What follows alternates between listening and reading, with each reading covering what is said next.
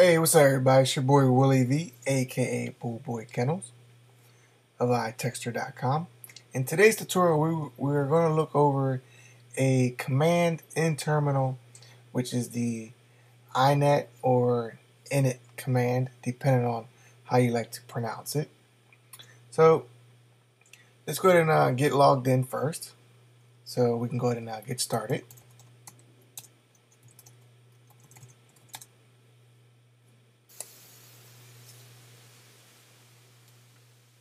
And it'll take just about a just a moment.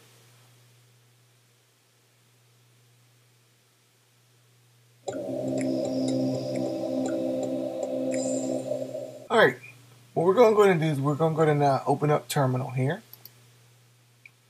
And we'll get that started as well. Um, one of the things you want to keep in mind that the inet or init command is somewhat similar to the reboot and shutdown commands in terminal with a few variations.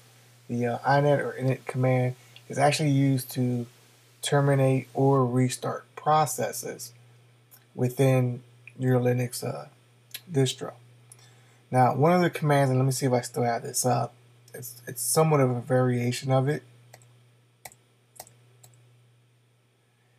would be to restart your Apache server. So here we have the sudo etc inet.d forward slash Apache and then restart. So that's one of the ways to restart the Apache server. But what we want to do is we want to either restart our system or reboot our system. Now again, like I said, you can do this with the reboot and shutdown commands but also the uh, init or inet command. The variations that it has is if you do inet 0, that would, of course, shut down your system.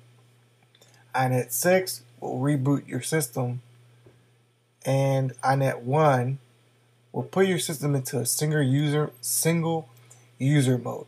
This will allow you to do um, system administration or maintenance on the system itself and the iNet 3 will basically put it into a single user mode without any graphical user interface, while iNet 5 will do the same thing, but it will give you the graphical user interface. So let's just go ahead and um, restart our system here. And we'll do it as a sudo inet 6 and then you'll notice that our system will go ahead and reboot and basically restart itself.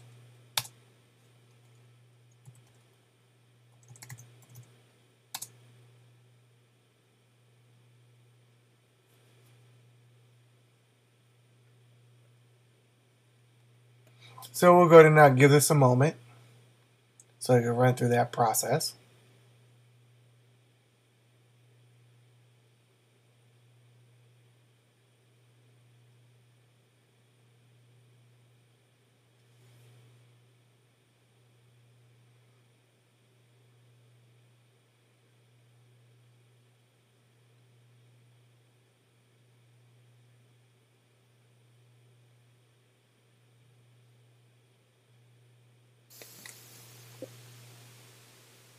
And here we are back at our uh, command prompt. Now I have it set up where I have to log in, but you may have it set up where you don't have to.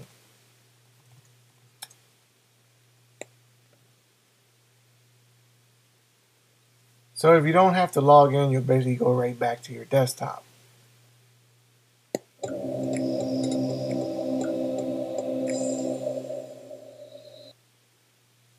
And there we basically have it. That's using the inet or init command, however you like to uh, pronounce that. Now again, I'll go ahead and uh, put up the information for the other commands that you could use with this particular uh, terminal command in Linux. Now it does not work on um, Mac OS 10 Leopard, but it does work on the uh, latest version of Ubuntu and pretty much most Linux distributions.